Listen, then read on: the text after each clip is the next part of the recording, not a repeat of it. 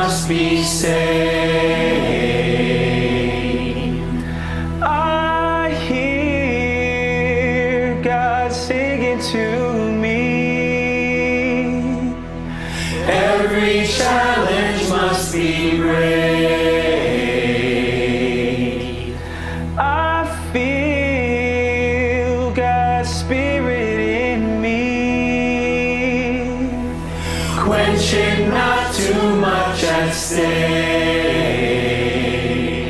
I hear God singing to me. I hear God sing for Jesus' sake. I hear God sing for Jesus' sake.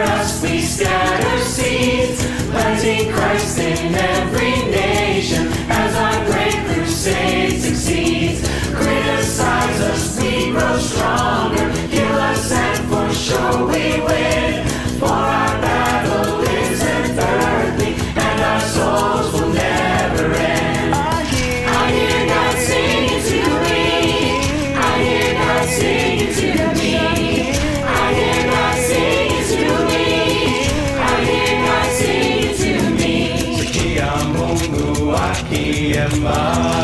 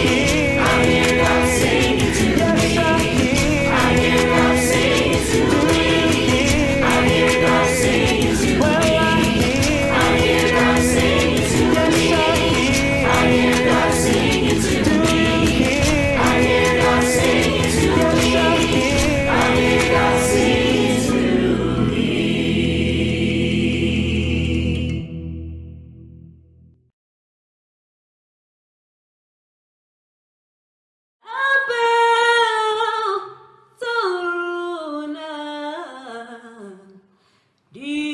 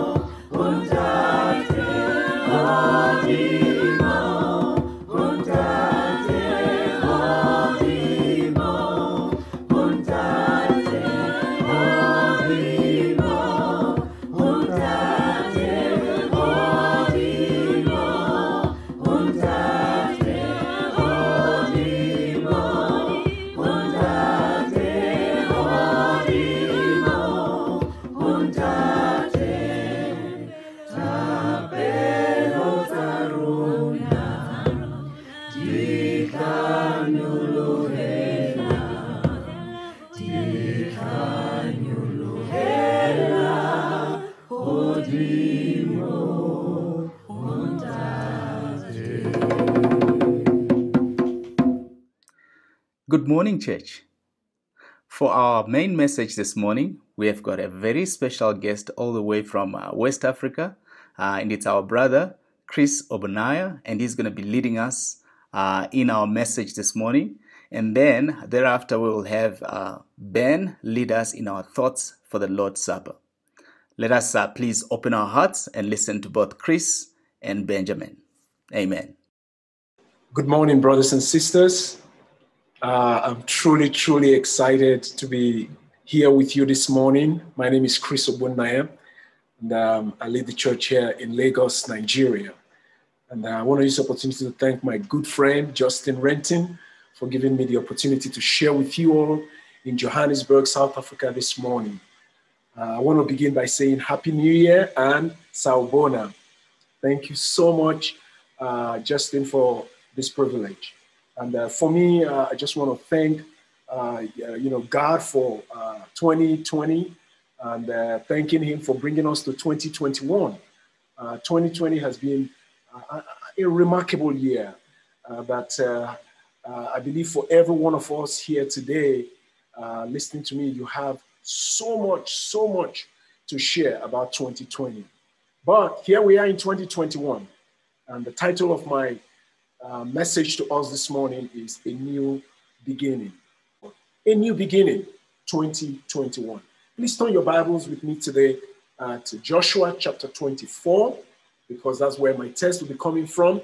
Joshua 24, verse 14 to 24. You know, before I read, just to give us a little background, um, this scripture, this is uh, the last um, chapter in the book of Joshua.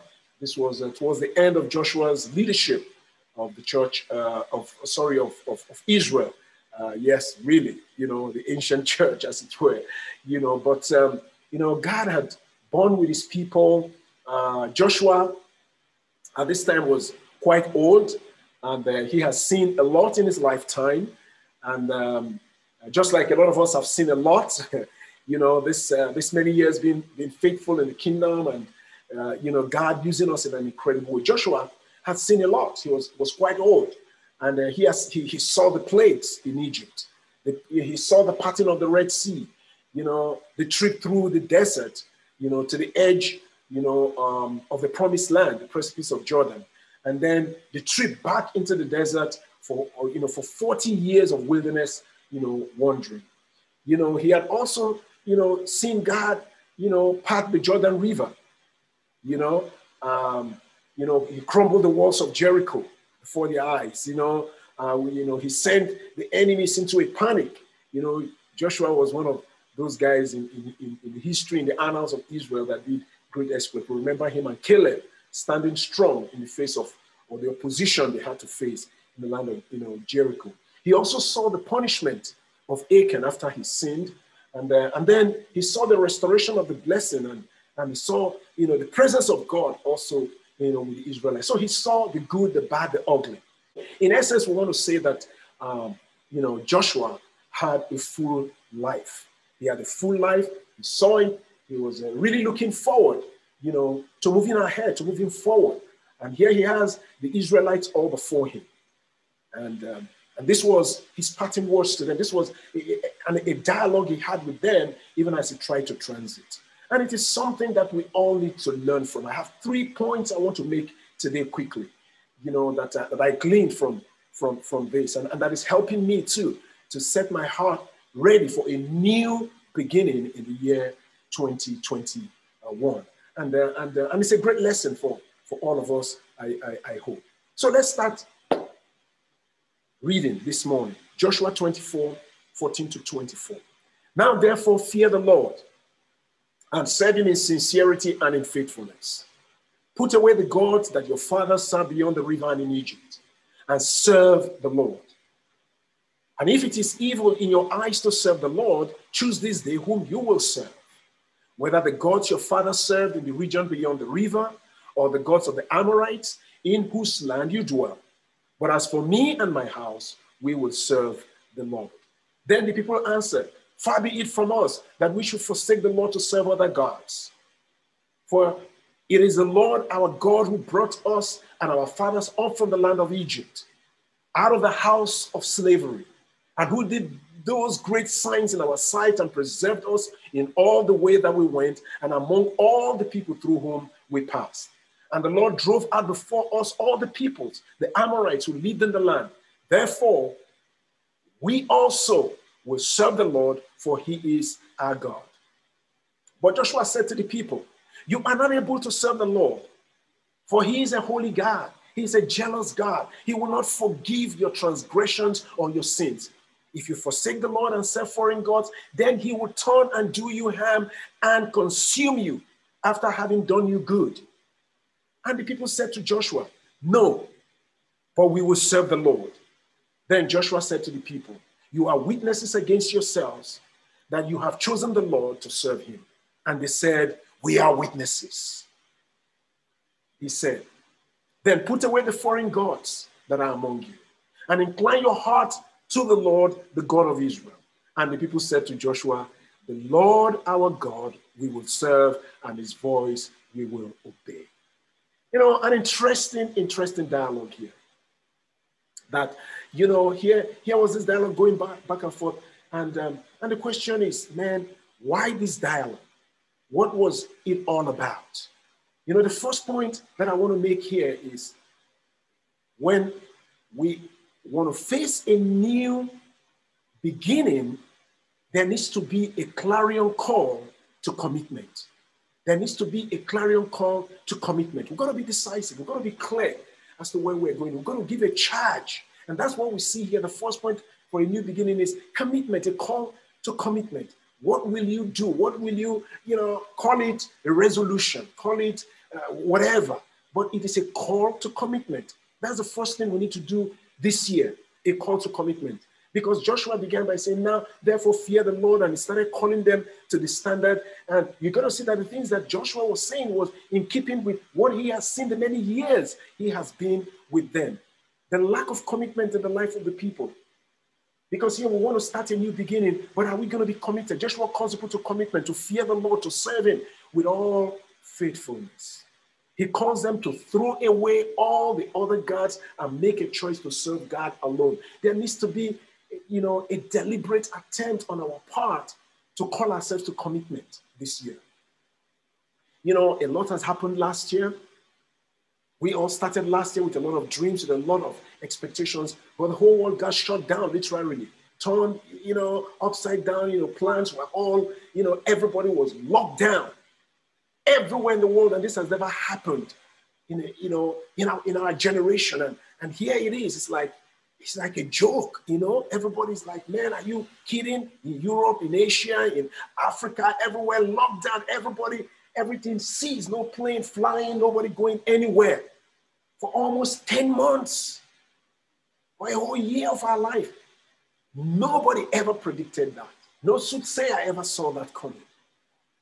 But you see, when we come to a time like this, when there is a turn of the year, we need to rededicate and recommit ourselves. So we need to begin to ask ourselves, you know, what am I going to do better this year?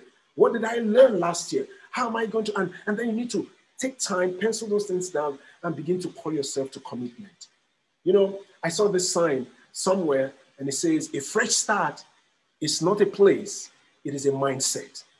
And that is why this dialogue was going back and forth between Joshua and the people because he was reading into their into their mindset, the mindset they had. Because you know, here, you know, they were not like, oh, one or seven, one. Oh, you know, they were saying, listen, look at what God has done for us. Look at what God has done for us. He has done this, He has done that, He has helped us, He has saved us, and, and so because of that, we should serve Him.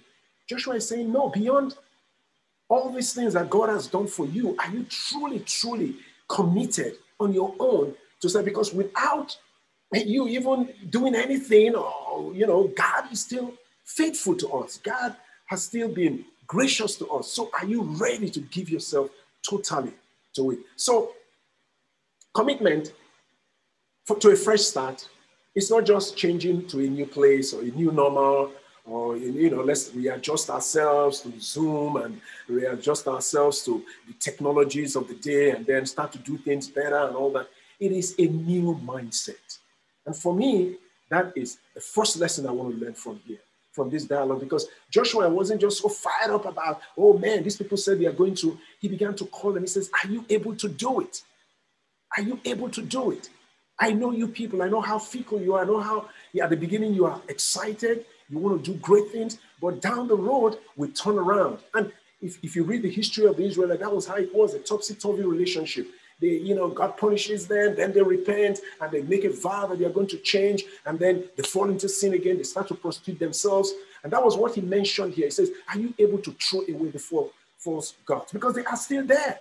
The things that will distract us are still there. The things that will take our hearts are still there. It didn't, it didn't go with the coronavirus. You know, if anything, the coronavirus added to the whole, you know, the whole challenge of life. So, but our mindset is what we need to begin to think about. Are you committed? Are you committed? The call is the same for us today.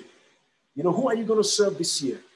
It is relatively easy for us to carry on our dreams now, our desires, you know, tweak it a little bit and try to do business differently, try to do whatever, our church differently and all that. And, you know, again, keep doing the things we do, put money in the contribution, give to the poor, help one another, you know, you know, worship, either virtually or physically, depending on what prevails, the circumstances that prevail. But God demands more than that from us.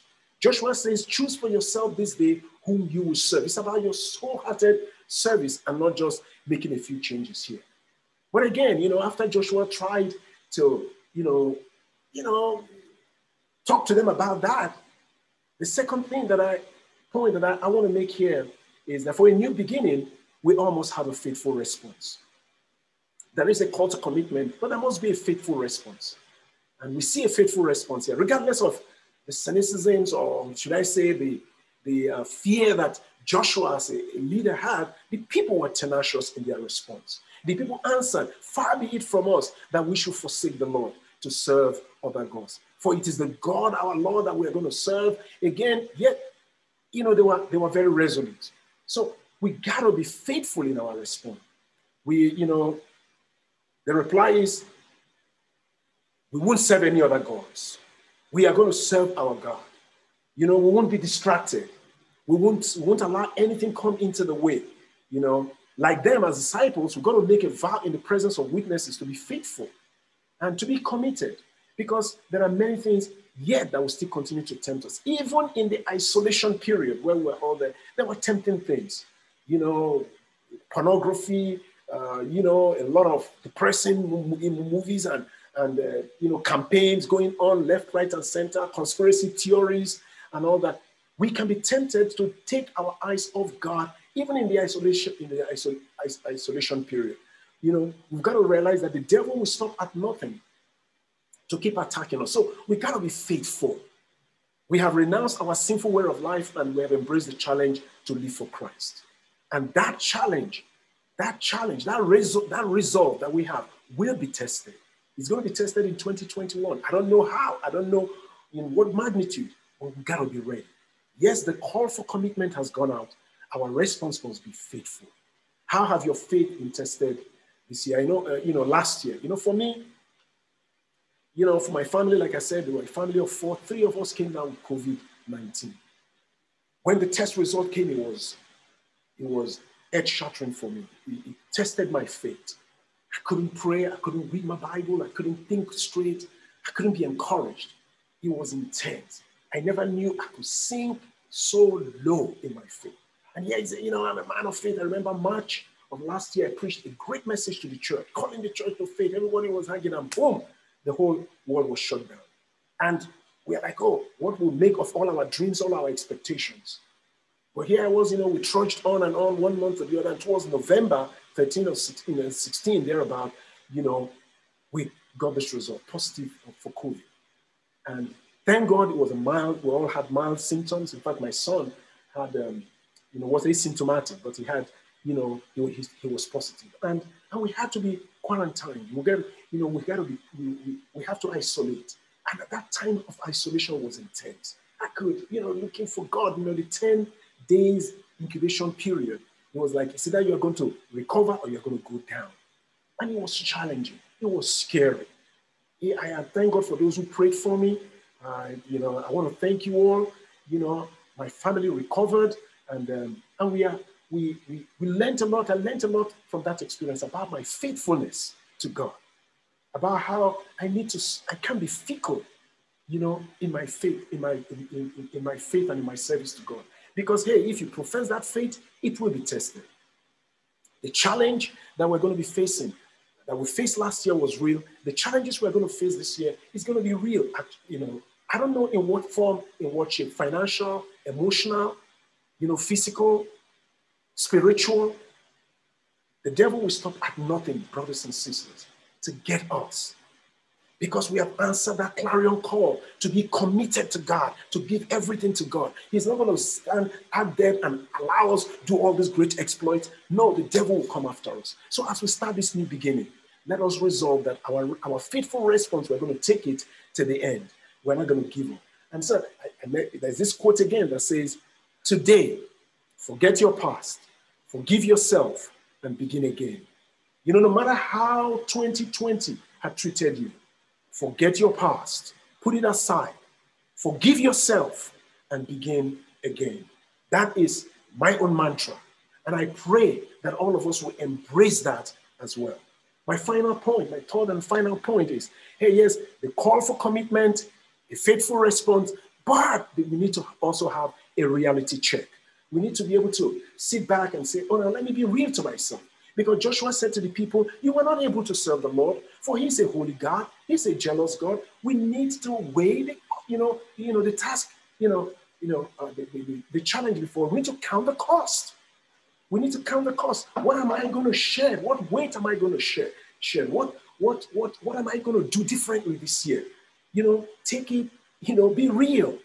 Be real. Let's not be gigamons in our thinking. Oh yeah, you know. Oh yeah, I'm fired up. I want to do it. But you got to take, you know, take a reality check. Joshua says, "You're not able to do it. I'm not able to do so many things. There's so many things I know I cannot do by myself." Joshua gives two reasons for this. One, God is holy and God is jealous. Those are two things we got to think about. God is not just ready to just hear us hype that we want to serve Him. He knows our heart. He judges the thoughts and the attitudes of our hearts. And he knows that we are going to be facing some obstacle. And sometimes the obstacle could be you. It could be your laziness. It could be your apathy. It could be, it could be fear. It could be anxieties and depression and, and so many things. We're gonna, we're gonna be really, gonna know where are you now. You are not able to serve him because God's character is far too beyond our comprehension and ability to manage. You know, the one big pitfall for us as disciples is consistency. For me, it is that consistency. But the reason why I fall prey to that is that sometimes I'm not real to myself. It's like, oh, you know, you, you suddenly find out that you want to shed weight, you jump into the gym. I'm a sports person. I jump into the gym and immediately I get into the gym. I want to carry everything. I want to walk. I want to lift all the weights. I remember, you know, one day doing that and I went home, all my body was aching and I couldn't wake up the next day, you know, fired up, you know, to do it. And then I gave myself three days, four days, five days. It became one month and I went back to the gym. Be real. Don't just start hyped up and then fizzle out. God's love for his people is so strong and perfect that he will not accept anything less than total commitment, total fidelity, and total faithfulness. God is faithful. God wants to do great things for us, regardless of how you, you treat Him, regardless of how you. God is not a God of calendar. He doesn't work with, you know, God is the same yesterday, today, and forever. I mean, He is God. He's faithful. But it's our own faithfulness, our total commitment, our fidelity, and our faithfulness that we need to check. You know, I saw another, you know, another write-up that says you can't start the next chapter of your life if you keep reading the last one. You can't start the next chapter of your life if you keep reading the last one. Let's not wallow in paralysis of self-analysis. Let's not wallow in oh trying to understand everything. You know, God is holy, and sometimes we can be scared. Oh, can I really serve God the way I want? Well, you can. Why? Because of grace. Because of grace. You know, Joshua's call was a deep commitment based not on God's action, but on God's character. Our service should be based on who God is and not just what He has, uh, or not what He has done for us, but what He will do for us. You know, we are, we are frail, but He is strong. God's character never changes. He was holy in Joshua's time, He's holy still today. He was jealous in God in Joshua's time, He's still the jealous God today. So we might end up saying, then I cannot serve this God. But you can, brothers and sisters. Just like I said, it is all the lesson of grace. Because of God's grace, we are invited into a relationship with God. Because of God's grace, Jesus came and died for us. And he bridged that chasm that separated us from God. Though we are weak, he is strong. And we can rely on him. We're invited to be in a relationship with God, invited into a reunion with the holy and jealous God that Joshua describes here. And, uh, and I know that when we see the, the, the, the, you know, the character of God, you know, and see how awesome it is, then in our frailty, we can come to him and get strength. And God gives us the grace to serve him. And that's what Paul said in Philippians 4, verse 13. I can do everything through him who gives me strength. It is God who's going to give us the strength to, that even though, yes, the, the, the call for the clarion call for commitment is there. We're going to answer that call faithfully, but we're also going to be real. It all boils down to our walk with God. So I want to encourage us today as um, we conclude um, that, um, like Joshua said to the people, the Lord your God, you will serve and his voice you will obey. Let us go and serve God. Let us respond like these people. As they said to Joshua, the Lord our God we will serve and his voice we will obey. Their reaffirmation of their desire to serve God it takes things a step further than it was previously. They were saying we're going to serve God for what he has done for us, but now they are saying we're going to serve God for who he is and his voice we will obey. I don't know what 2021 holds for some of us, but all I know is that God is faithful. And my prayer for us, as we pray for you, you pray for us that we all remain faithful. It's a new beginning. Call to commitment is, is there. We've got to call each other, call ourselves, call our family members to a pure, total commitment to really serving God. And our response when we see that, when we hear that clear call challenging us to move forward, is to be faithful, to believe that we can do it, to be courageous, and at the same time, to be real. Let's be vulnerable, let's be open, because along the road, we're going to be, you know, we're going to be scarred, we're going to be hurt, we're going to, a lot will go through us, but let's not be discouraged. Let's hold on to one another this year. And, um, and I believe that with God being on our side, we're going to be victorious. Please pray for us uh, here in Nigeria, West Africa. Our goal this year is to see 250 people uh, get baptized and restored and added to the church. And I know you have your own goals. And uh, we have four quadrants of calling ourselves to small groups, calling ourselves to our membership, being committed members, calling ourselves to discipling, you know, and, uh, and, and in every way calling ourselves to attend the church meetings, to make ourselves available, you know, to use the talent that God has given us, the gift that God has given us to serve the church. Thank you all. Please pray for us. And again, thank you for the privilege of sharing with you this morning. And uh, I pray that um, uh, once more, uh, we can start this year, 2021, with a lot of zeal, with a lot of courageous, courageously looking to what God will use us to do. God bless you. Thank you. Thank you. Good morning and a delightful Happy New Year to you all. My name is Benjamin Ali from the Central Region of the Joburg Church of Christ, and it is truly an honor and a privilege for me to be able to share some thoughts with you this morning as we remember the life, death, burial, and resurrection of our Lord Jesus Christ. You know, it is no secret that last year truly took us by surprise, considering all of the challenges it brought about. But I am so grateful that we were granted a chance to see this new year. One thing that I have realized, and that you probably have too, is that with each new year, particularly the very first few days of the month of January, many are those who use the time to pen down their goals and their dreams that they wish to see or achieve throughout the year. And you actually listening to this right now might be one of those. However, as far as I'm concerned, I don't particularly do that. Nevertheless, I would like for this year to be different, as this year I would like to uh, set a goal for myself for the year.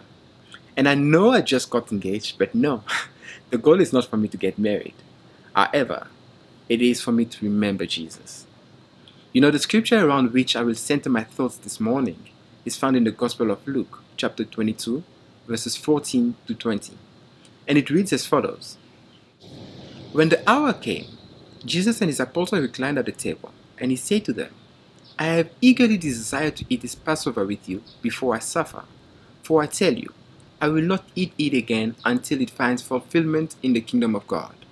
After taking the cup, he gave thanks and said, Take this and divide it among you. For I tell you, I will not drink again from the fruit of the vine until the kingdom of God comes.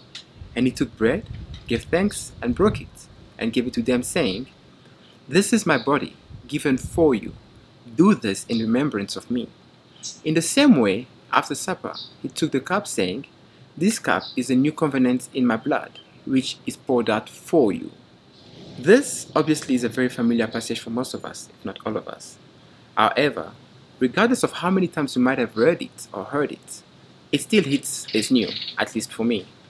And it does so because each time I hear or read this, I am reminded of the voluntary sacrifice Jesus made in order for us to be reunited with the Father. I'm reminded that his body was literally broken for our sake and that his blood literally spilled to the floor so that we could have a chance to be reunited with God and live in perfect harmony with Him. That uh, we could become royal priesthood, as it was mentioned earlier on. That we could become co heir with Him in the kingdom of our Father. And all that He asked of us is for us to remember Him. And so I would like to invite you all to join me in this year in making it a goal to remember Christ to remember Him in our schoolwork or our work, in our families, in our, in our friends, however we spend our time. To remember Him when we drive or walk or jog. Literally, for us to remember Him in whatever it is that we do. So let us make it a goal to remember Christ in the mundane of our lives.